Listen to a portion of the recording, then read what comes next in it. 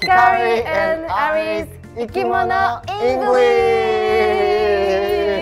Yay! We're talking about the clownfish. Clownfish? Clownfish! Why are they called clownfish? Because when they swim, they kind of look like a clown. Like this? really? Yeah. How big do they get? The clownfish, they can grow up to about 10 centimeters. Pretty small fish. Hmm, Tell us something about the clownfish. Clownfish, when they're born, they're actually all males. But as they grow up, as they mature, they can turn into a female. And ginger. Transgender, yeah, they can actually change their gender.